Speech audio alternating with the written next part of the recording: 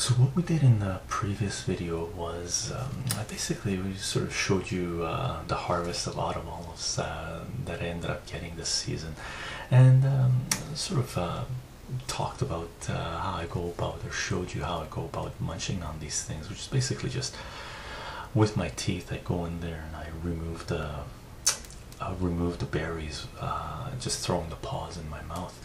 Uh, but it's basically come to a point where um, these things are getting a little bit over ripened. Uh, so we basically have to start making jam with them. Uh, so what we're going to do right now is uh, prep the berries to make jam.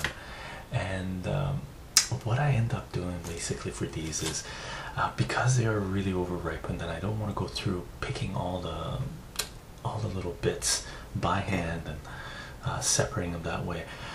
We're just gonna cut off the pods, um, the the bunches here separately, and um, basically cook the berries with sugar.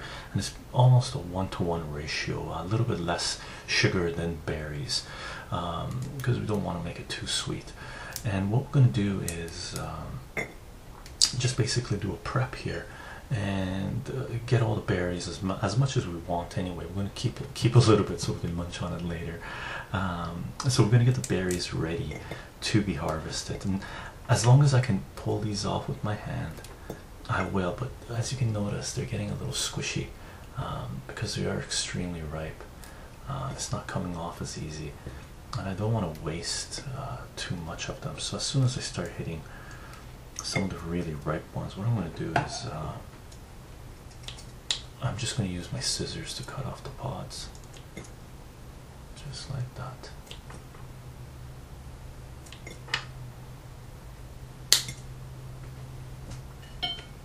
And basically it's going to be coming off like this and what we're going to do is uh, you can see uh, what we're going to do is uh, basically use a little hand um, grinder sort of a sieve uh, to remove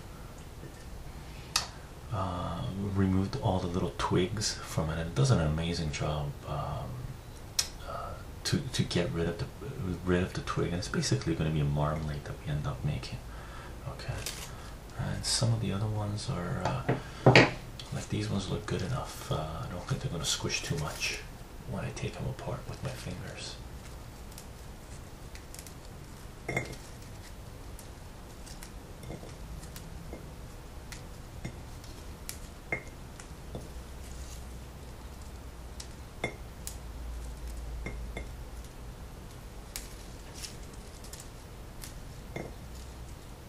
there are some bad ones here, and those ones are just going to get rid of, right? They're over ripened or a little bit moist, so they've gotten a little bit moldy.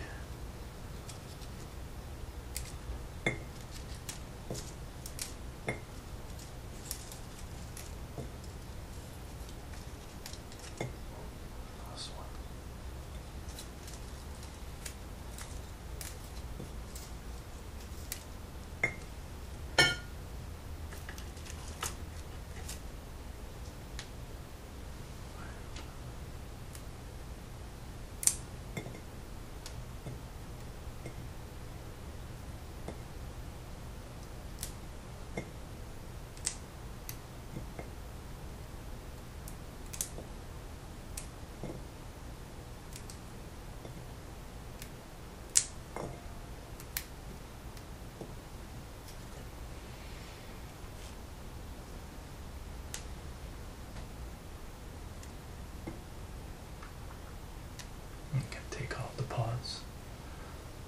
You can